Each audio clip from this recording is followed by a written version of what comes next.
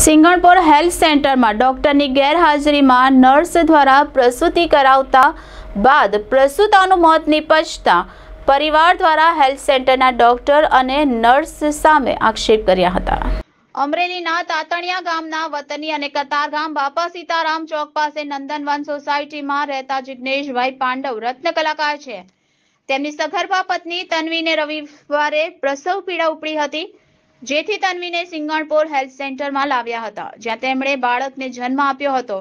જો કે પ્રસૂતિ બાદ તન્વીની તબિયત લથડી હતી, જેથી તેમને સ્મીમેર હોસ્પિટલમાં ખસેડાયા હતા, જ્યાં ટૂંકી સારવાર બાદ મોત થયું હતું. પતિ જિજ્ઞેશભાઈએ આક્ષેપ કર્યો હતો કે હેલ્થ સેન્ટરમાં કોઈ ડોક્ટર હાજર ન હતા અને નર્સ દ્વારા પ્રસૂતિ કરાઈ હતી.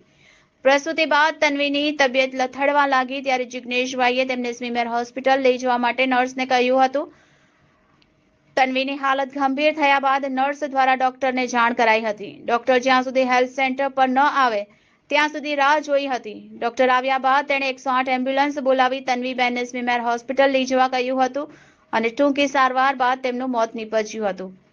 પરિવારના આક્ષેપ અને તબીબ સહિતના સ્ટાફ સામે કાર્યવાહીની માંગને પગલે પોલીસને જાણ કરવામાં આવી હતી, જેથી પોલીસે તન્વીબેનના મૃતદેહનું પોસ્ટમોર્ટમ કરાવી વધુ તપાસ હાથ ધરી છે.